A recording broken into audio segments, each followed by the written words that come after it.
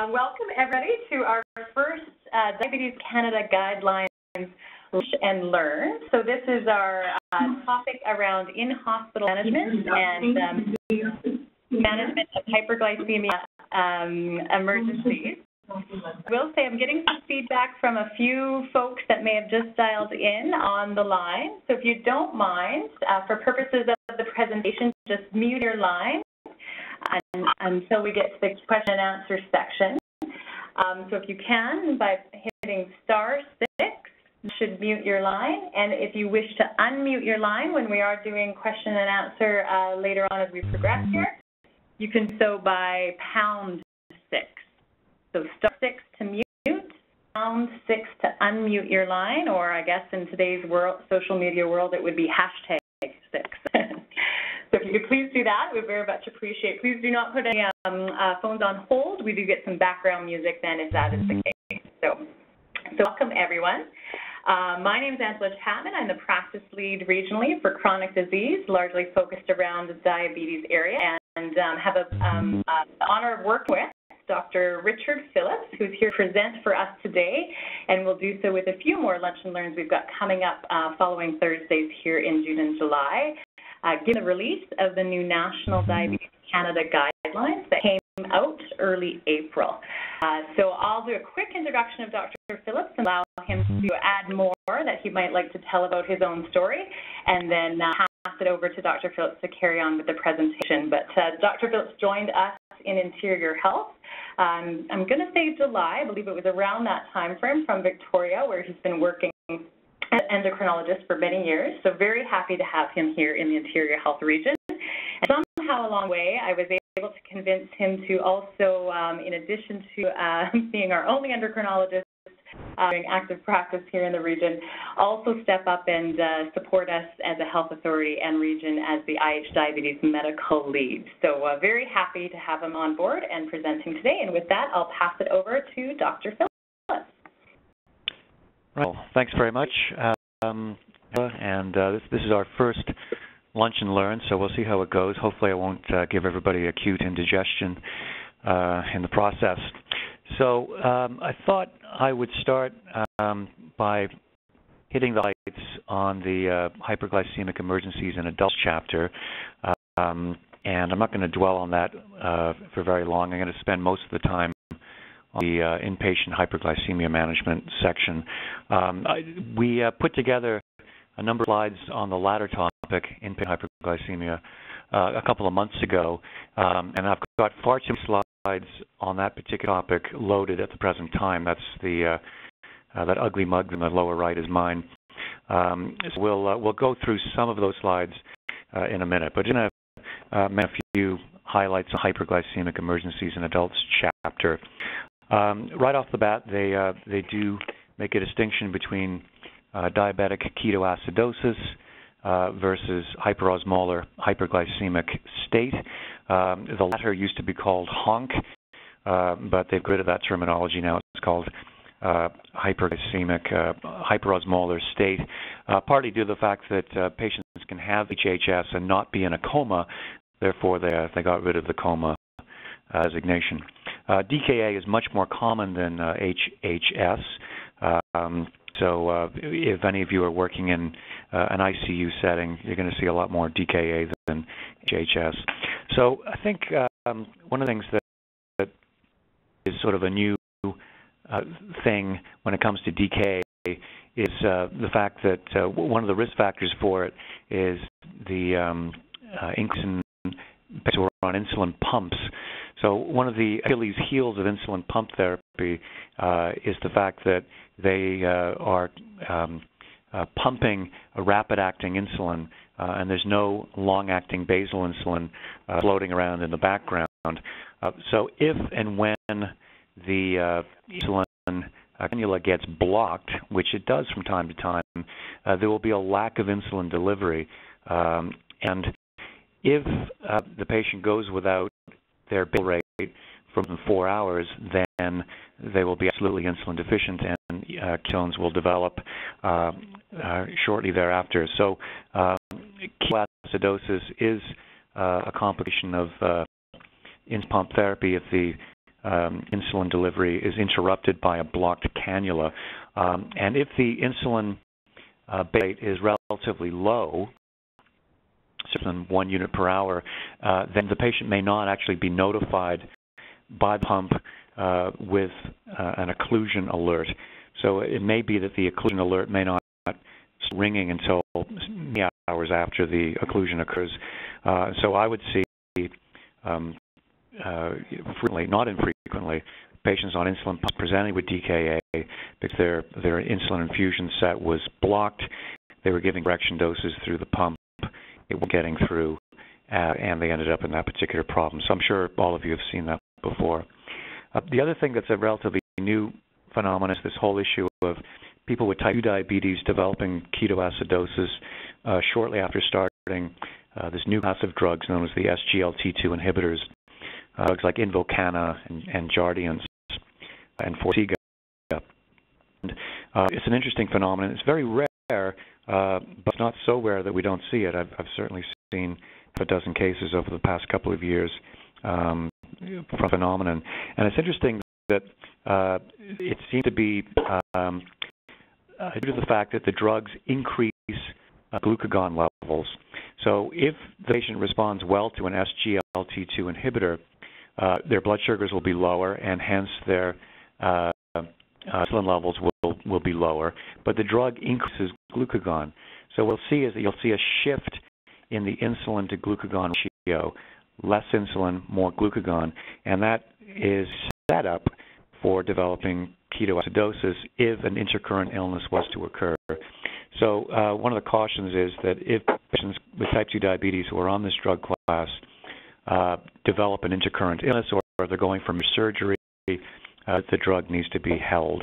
Um, so we've added the SGLT2 inhibitors to the so-called SADMANS group of drugs to hold if uh, if people are ill. Sorry about ketoacidosis in type 2s is um, there's a, a, not infrequently uh, seen phenomenon of ketosis-prone type 2 diabetes, um, and this was originally described in the U.S. in African Americans um, when it was initially called flatbush diabetes, uh, which I believe is an area of New York. Uh, we'll, we, we will see ketosis-prone type 2 diabetes in our region uh, most often in uh, uh, people First Nations background. So they'll present with type 2 diabetes with very, very high blood sugars. They may actually have ketoacidosis as part of it, um, but they're most likely not uh, a type 1 diabetic. It's most likely uh, a manifestation of um, first presentation of type 2. So they need to be treated with insulin initially, but ultimately can come uh, off the insulin and, and, can be treated with uh, metformin and lifestyle. The, uh, um, the, the thing terribly new in the hyperglycemic emergencies in adults chapter on the treatment of DKA, uh, Interior Health recently came out with a updated um, uh, uh, protocol for uh, treatment of uh, adult DKA and HHS. Uh, came out at the beginning of the year, and it's basically based on the um, the Diabetes Canada guidelines from before. Uh, much has changed uh, in the interim, um, and I was asked to comment on those guidelines before they went out, and I, I, I did um, sort on a number of things. So when you're treating DKA uh, in the ICU or in a step-down unit, um, there are a number of uh, sort of big factors you need to focus on. So number one, you need to uh, perform volume resuscitation. You got to give people uh, normal saline in appropriate amounts. So that's number one. Number two, you need to treat the acidosis. The acidosis is treated with the intravenous insulin. No change in the rate, which is still recommended to be 0.1 units per kilo per uh, uh, per hour. So generally, 70 kilogram person comes in, they be started at 7 units per hour. Uh, that hasn't. Uh, Diabetes Canada is not recommending uh, uh, an insulin bolus intravenously to start off with. No evidence that that's of any benefit. You put people on uh, volume resuscitation and IV insulin, 0.1 unit per kilo per hour. Uh, the thing that can lead to major morbidity and potentially mortality with treating DKA is if you induce hypokalemia. So it's very important that uh, potassium resuscitation starts early on. So once the potassium is, is less than 5.5 and uh, the patient has a urinary output, then you should be aggressively uh, uh, replacing potassium uh, between 20 and 40 uh, millimoles per, per liter to avoid hypokalemia because the insulin that you're giving intravenously is going to push potassium back into cells. Uh, as the acidosis clears, the potassium will be pushed back into cells, and you can actually uh, induce hypokalemia. So very important to, to watch the potassium. Uh, clearly, I, I, had to um, remind my ICU colleagues that the reason that you're giving the IV insulin is not to treat the hyperglycemia, but it's to treat the acidosis. So as the glucose is coming down, we don't want to lower the the infusion until the acidosis is cleared. What we do suggest is that once the glucose is down to 14 millimoles per liter, uh, that instead of turning off the insulin, uh, that you just add back some glucose into the IV. You certainly cut back the uh, the insulin by 50%, but you have to keep it going add back some glucose to the uh, the IV infusion to keep the blood sugar somewhere between 10 and 14. Um, for God's sake, don't turn off the insulin until the acidosis is cleared.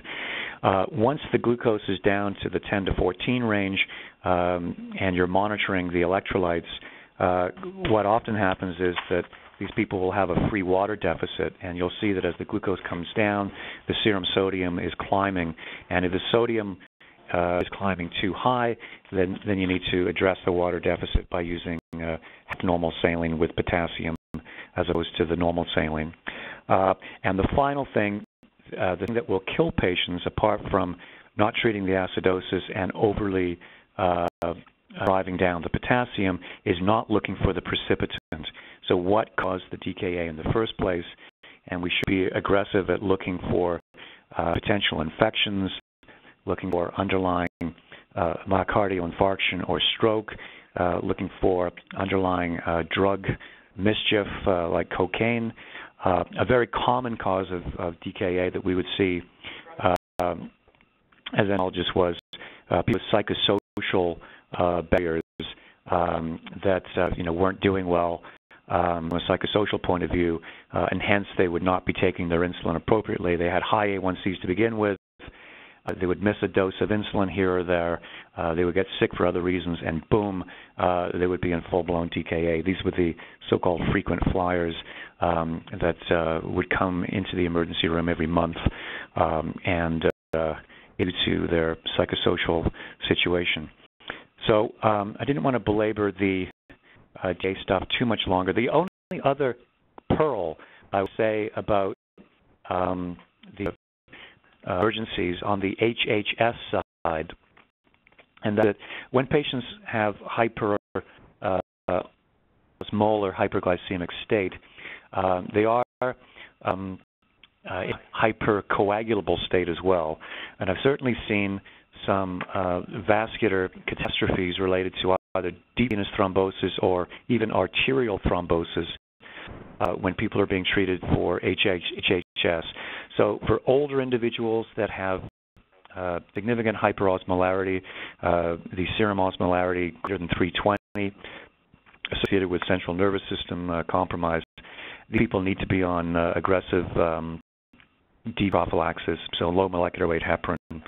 Um, uh, that uh, that possibility. So I think that's important from my perspective. Um, but can I can I move on to the uh, to the patient management? Yeah, and then we'll um, allow uh, just for we'll allow time for at least 15 minutes of question uh, for all parts, the hyperglycemic emergency and the other. And and just a reminder, if you can, we're getting some feedback. Star six, mute your line. Thank you. Okay, continue, Dr. Phillips. Thank you. Okay, so moving on patient hyperglycemia, uh, talk, um, going to move move along to um, next slide. So, hyperglycemia uh, in hospital, very common. Uh, this is an interesting study from Atlanta um, that uh, um, defined hyperglycemia in the inpatient setting as any glucose over 7.8.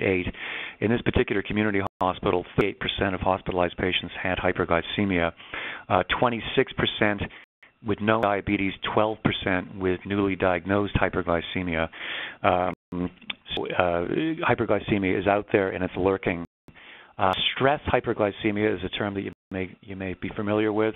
Um, defined as a random glucose over 7.8 in acutely ill patients without a prior diagnosis of diabetes, which normalizes with recovery from the illness. Um, so that's the definition of stress hyperglycemia. Um, and uh, very common. The um, uh, one of the changes to the Diabetes Canada guidelines is they're recommending that a random glucose be performed in all patients hospitalized with acute illness just due to this high incidence rate so that we can pick up uh, people with otherwise uh, uh, undiagnosed hyperglycemia and or diabetes. Um, so random glucose on everybody that's admitted. If the glucose is over 7.8, uh, they're recommending that you do a hemoglobin A1C. Uh, if the random glucose is high but the A1C is normal, that would suggest that the patient has stress hyperglycemia as opposed to uh, uh, undiagnosed type 2 or type 1 for that matter. Uh, if the A1C is elevated above 6.5%, uh, then say a, a, new diagnosis of, of diabetes. Um, you have somebody with known diabetes that's coming into the hospital, uh, they're recommending that you, um, if that person has not had a, a recent A1C within the past two to three months, that the A1C be updated um, for a couple of reasons. So if you have known diabetes and you're in hospital and have a high A1C, that predicts that the amount of insulin you that you will need to give to keep them under control in hospital will be higher than otherwise, and also prompts you to uh, at least think about um, uh, sort of increasing the intensity of the therapy once they once leave hospital, uh, so that uh, so that's that's that's addressed as part of their discharge planning. So many many barriers to uh, inpatient glycemic management.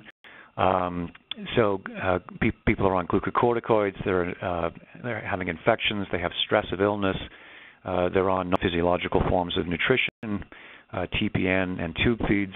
Um, factors predisposing to hypoglycemia, very common, uh, advanced age, uh, uh, alterations in oral intake, renal insufficiency, um, and uh, issues. So it's not easy to control the blood sugars um, at the best of times. So why do we care?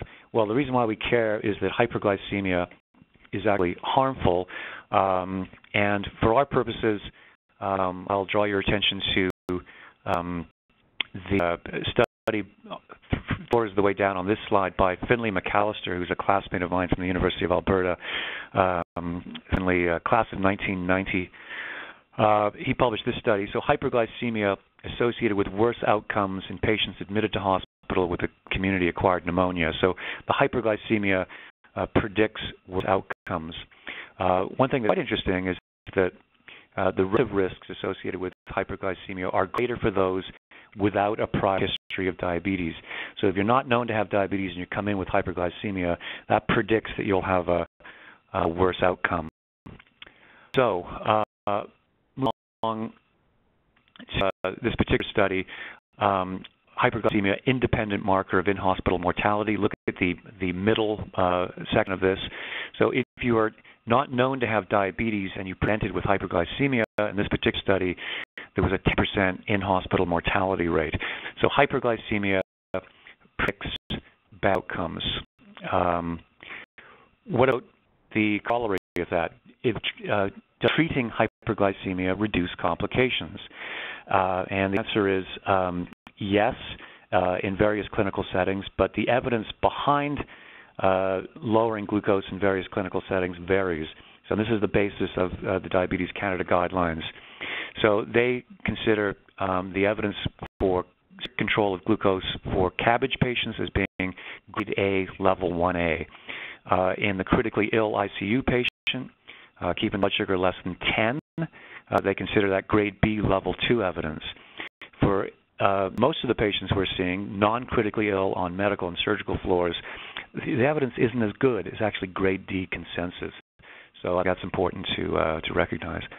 So um, we won't belabor the, this particular slide, but just to, if you can see my arrow there, um, uh, treating hypoglycemia in hospital increases the risk of hypoglycemia. It decreases the risk of um, infection.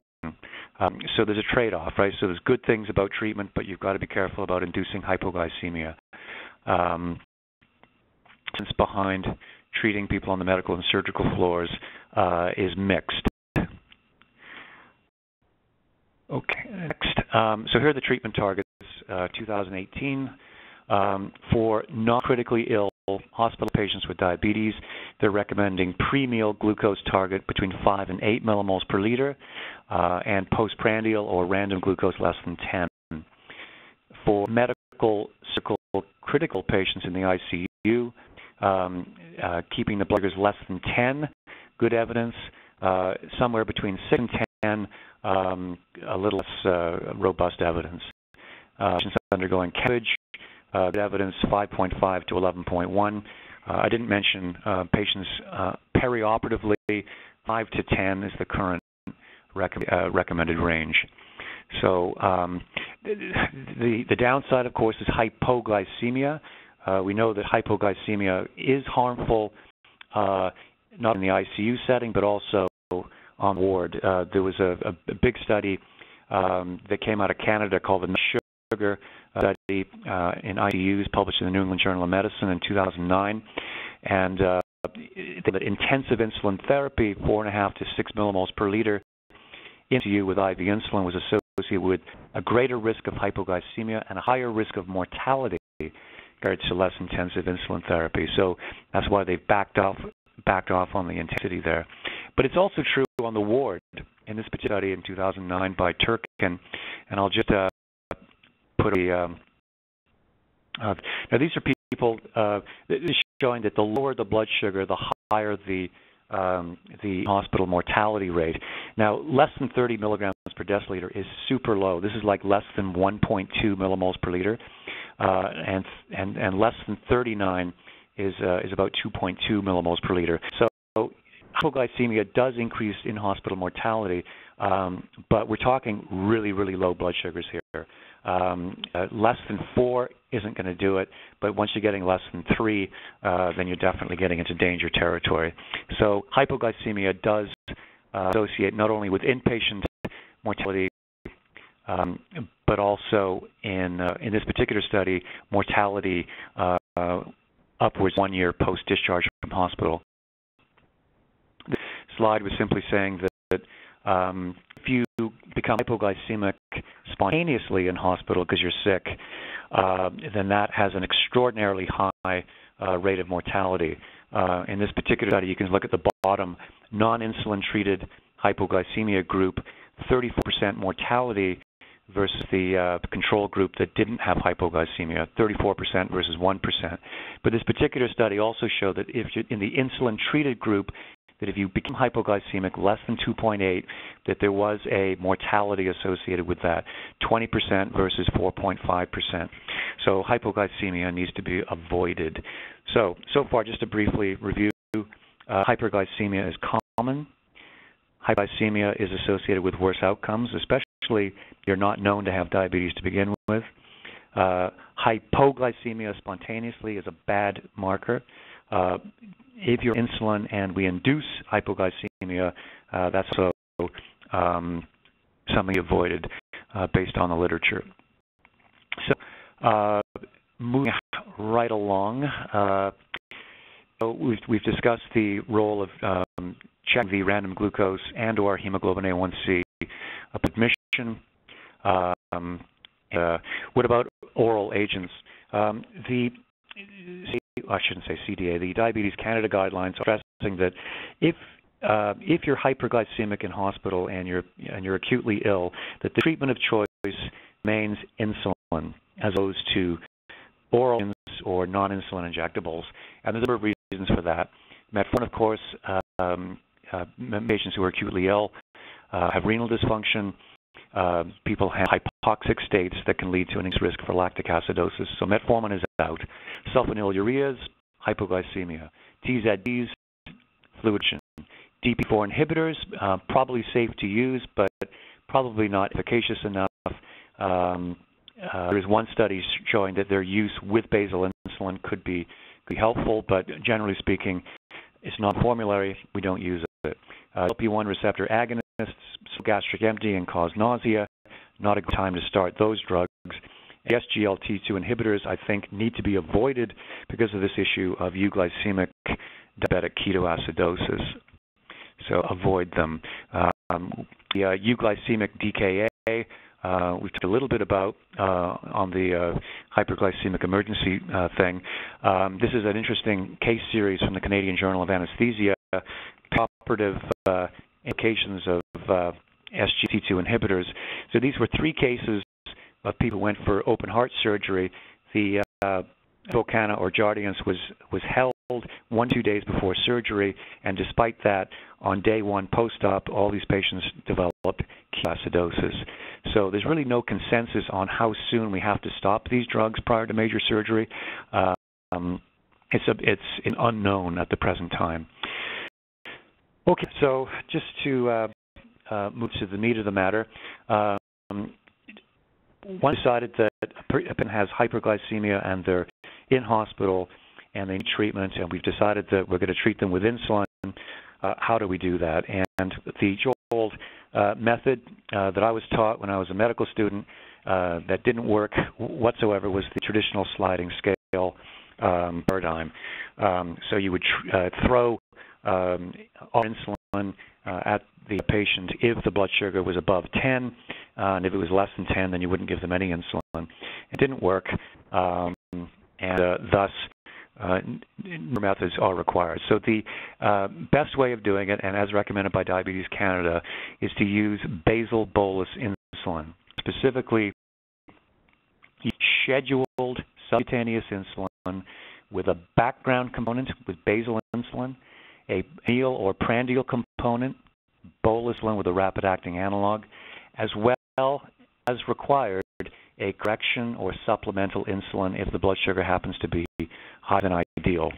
So three components um, to the uh, the basal bolus insulin program, and the um, the for coming out with the physician prepared order sets is to encourage uh, and facilitate uh, order, uh, ordering physicians uh, or nurse practitioners to uh, use this basal bolus method, um, uh, which allows them to, to um, pick a basal dose, a, schedule, a scheduled meal dose, and uh, an ISF or insulin correction factor um, for their patients, um, as opposed to using the sliding scale.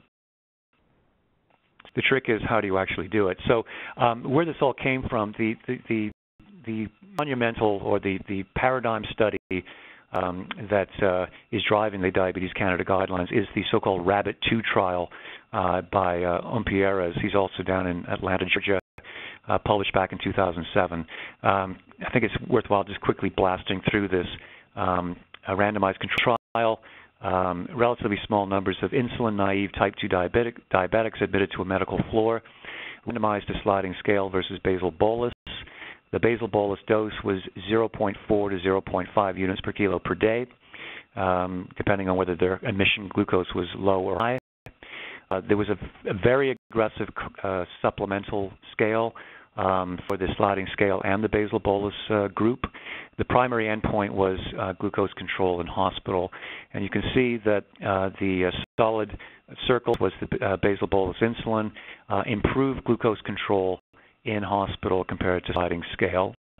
I also did a surgery trial, same sort of idea. they used 0.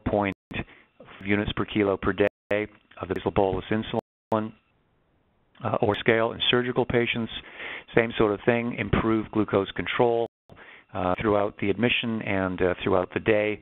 Uh, in addition to that, they showed a reduction in hard endpoints. Specifically, if we look at the number of patients with complications, sliding scale 26, basal bolus insulin 9, statistically significant. Um, now, this still uh, isn't, you know, the numbers are relatively small. Uh, that's why the uh, um, the level of evidence is still considered grade D as compared to uh, the, um, uh, the ABG patients. Uh, but this is the best evidence that we have um, that this is safe and effective uh, treatment. Um, what barriers to the use of the basal bolus insulin? This is still not used universally by stretch. Um, all endocrinologists use the basal bolus insulin program, but not everybody's an endocrinologist. You know, um, hyperglycemia is frequently not the focus of the admission. So you're in with a broken leg, and people are focusing on that as opposed to the blood sugars. You know, the complexity to this. Uh, not not every uh, um, provider is going to feel comfortable with ordering insulin. Um, there's you know nursing workload issues. They have to test the blood sugar. Uh, they have to follow the uh, the um, the protocol for calculating the bolus and the correction. They've got to administer the insulin within 15 minutes of a meal. Very difficult. Um, the insulin doses may change as the uh, uh, as the uh, patient either sicker or better as the admission progresses. So there's to be a change in the dosing as, as, as time goes on. High alert medication, there is a, a risk of hypoglycemia um, that can have bad outcomes, as we've mentioned. Uh, when I left Victoria, the uh, people there gave me a coffee mug uh, with one of my famous quotes on it. I'll uh, leave it for your reading. I haven't mind about that. So, uh, we order insulin. How are we doing for time? I better hurry up. so, uh, insulin orders are easy. So, if the patient's on basal bolus insulin at home and eating in hospital, then one can use the home regimen. If their uh, A1C is quite well controlled at home, uh, then generally speaking, um, it's a good idea to reduce the total daily dose by about 25 percent. Uh, as generally speaking, they'll be eating less in hospitals than they do at home. Uh, if their A1C is very high at home, then there wouldn't be the same reason to reduce the uh, total daily dose. Many type 1 diabetics feel comfortable with self-management, so I think we need to have that discussion. So if you think that the patient is capable of continuing their own uh, self-management, uh, then they be encouraged to do so. This includes insulin pump patients, um, and uh, we do have um, access uh, and a consent form uh, in the interior health uh, protocol to allow patients to continue their insulin pump therapy if they're a good candidate. So the patient's not on basal bolus insulin at home, yet they're in hospital acutely ill and still eating. How do we decide on their total daily dose? So generally speaking, it'll be somewhere between 0.4 and 0.5 units per kilogram per day, depending on what their admission glucose is, with a lower total daily dose if they're elderly or have renal impairment, starting at 0.3 units per kilo per day for those folks. Um, the higher doses, 0.6 units per kilo per day or higher, um, is considered a threshold uh, below which the odds of hypoglycemia are lower. So sticking to this, this sort of 0.3 to 0.5 units per kilo per day total daily dose is a starting point. Uh, once the total daily dose, half of it is given as a long-acting basal, usually insulin glargine once a day at bedtime. The other 50% is given as meal-related insulin, NovoRapid before each meal, as long as the patient's eating. Um, the correction dose, uh, you calculate it by using the rule of 100. So you divide 100 by the total daily dose, and the result is your ISF. So if they're um, 100, if they're on 50 units per day, 100 divided by 50 is 2. Uh, for the correction dose is 2. Uh, 2 units of aspart reduces the glucose by 2 millimoles um, approximately. So if the patient is a meal on that regimen, then you omit the prandial insulin. Um, if the patient is hyperglycemia, hyperglycemic and is not eating that particular meal, then you would simply give the correction dose. You don't give the the meal-related dose, but you would give the correction dose even if they're not eating. The basal insulin continues whether they're eating or not. Um, we don't want to get in a situation where the patient remains hyperglycemic and all the physician does is crank up the Lantus dose without giving any prandial insulin.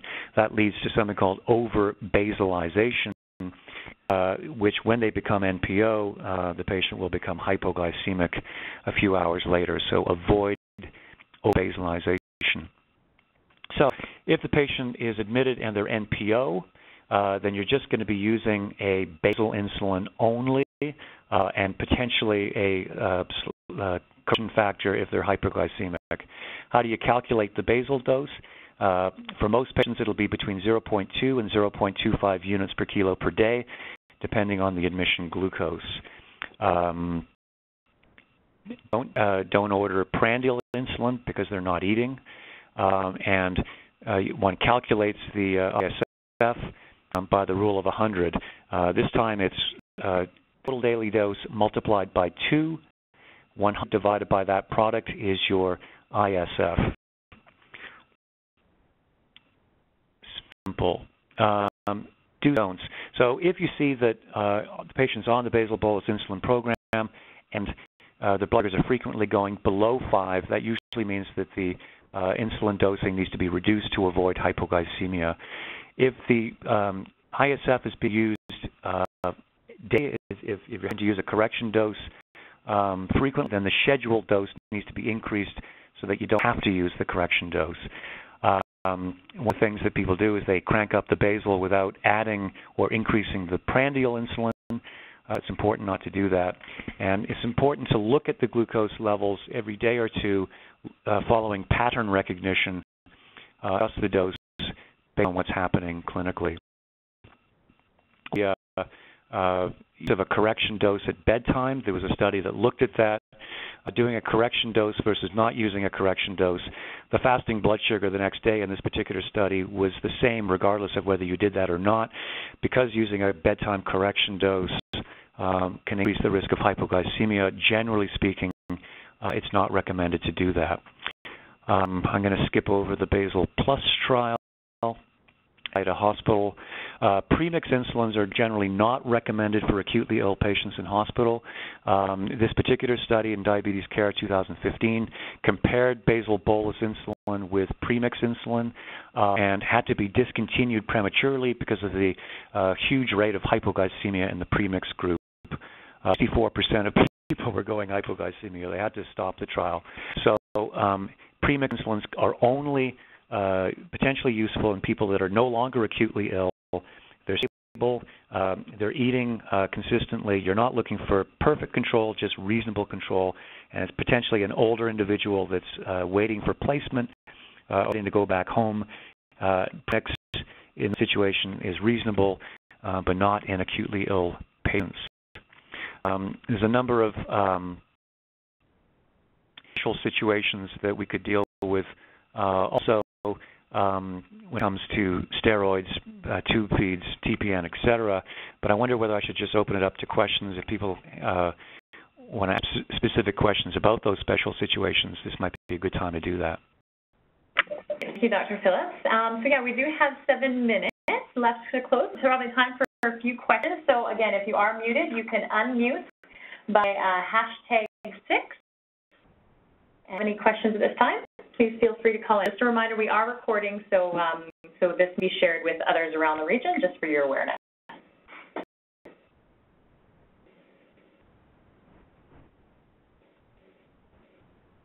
Logan Cranbrook. Um, uh, my question is, uh, thank you so much for this um, update. Uh, and, you know, I've done some inpatient, but I was never aware or privy to these tables that you shared with the the guidelines like for how many units per kilogram for starting. I'm wondering if you could share that information with us, particularly like if they're NPO to start the basal at 0.2 units if their blood sugar is less than 11.1, and then the other one with the serum greater than 177 and age greater than 70. Um, it, it, it's, um, uh, I believe, uh, Angela, that this whole um, inpatient hyperglycemia slide deck is available um, to people to to did they have access to the whole thing or just the abbreviated one? Um, probably abbreviated one, but we can certainly through this recording make it accessible on our diabetes clinical care resources page and inside net, so I can send uh, follow-up information about how to access that, but certainly we can. Yeah, and uh, and, and, to mention that the uh, the Diabetes Canada guidelines do mention um, you know, the, use of basal bolus insulin, and they do talk about, you know, 0.4 to 0.5 units per kilo per day total daily dose with half as basal, half as bolus. Uh, but they don't go into any more detail than that in the Diabetes Canada chapter. So what I provided for you is sort of more of a, um, a synopsis of literature in the last few years um, that I had to do to put these slides together. Um, and uh, those numbers come from the um, the randomized clinical trials uh, that were done that, that uh, showed that basal bolus insulin was superior, superior to uh, sliding scales. That's where those numbers come from. Okay, thanks so much.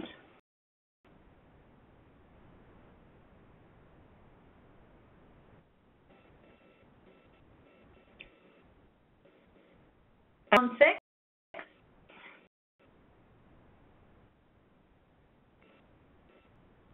Dr. Phillips, there's not any immediate questions now. There may people may be percolating and musing over the information. Did you want um, to walk through any other slides this? Uh, yeah, um, I think one of the areas that's um, important to uh, discuss is the, is the, whole issue of transition to home. Um, so passing the baton to the uh, community. Um, so I'll, I'll, blast you with this stuff. So um, clearly if the patient was doing well before they came into hospital, simply their usual outpatient regimen is appropriate. Um, if patients are new to insulin, um, it's important that uh, they receive insulin ching before they leave, obviously.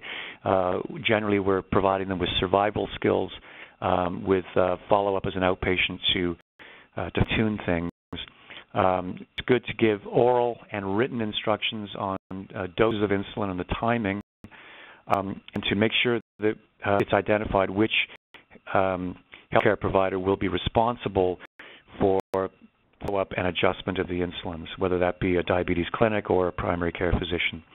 Uh, the primary care physician needs to be notified what the discharge insulin regimen is, and I think that um, a lot of work has gone into the issue of transition to home uh, through the interior health um, uh, policies and procedures. Uh, I think we're doing a, a, good job in that regard. Um, now, uh, basal bolus insulin is appropriate while people are acutely ill as inpatients. Uh, not everybody needs to go home on basal bolus insulin, however. So, um, if it's uh, identified that people need to go home on insulin, um, if you can avoid the basal bolus insulin program uh, upon charge, that would be in the patient's best interest because it's, it's, it's a complex regimen, and many people can't can't do it. So if you can uh, send them home on some form of oral agent, um, as well as perhaps uh, a, uh, a, portion of their basal insulin, 50 to 80 percent of the inpatient dose, um, so oral agents during the day, bedtime basal insulin at a reduced dose upon discharge. That'll be a simplified uh, way of doing it, uh, and then the uh, the community people can can take it from there. So it's uh, a useful thing. Um, I'm not what else I need to focus on. I'll, I'll flip some slides and see if there's anything else while people mullitions. So we are just one minute to time. So do, um, any closing uh, remarks, Dr. Phillips? And then um, I'll, I'll, close with a few comments about how we'll share the information out. Right. Uh, well, my, my only comment would be that uh, I, th I, think we've done a good job at coming up with um, PPOs for people to use in various clinical circumstances.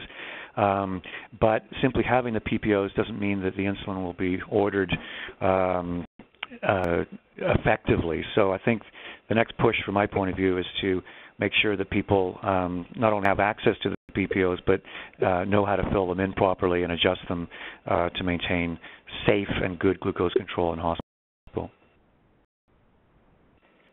Thank you. Yes, and I, I think um, for all on the line, I know we've got a lot of nurses, pharmacists, I, I believe dietitians, and others. So again, if we have an enhanced collective awareness, I think we can always then be helping to inform one another and our prescriber partners as well to that end. So thank you very much for, I know what was a large amount of information to work through, Dr. Phillips. Uh, and thank you to those take, for taking your lunch hour uh, at this meeting. If you do have any burning questions after the fact, uh, you can email uh, that diabetes education at interiorhealth.ca. Just put in the subject line June 7 uh, inpatient diabetes management session, um, and then you know, we can maybe take some questions offline if you have some musings after the after the recording. And we will be um, posting these accessible through our Diabetes Inside Net Clinical Care Resources page as well. Um, so please pass that message along to colleagues if they weren't able to attend today. And if you haven't already uh, registered, we do have some upcoming sessions, although I believe most of June is already full, so uh, but a few spots left for the live session. So Dr. Phillips, and thank you all for taking your time today. Thank you. Thank you much.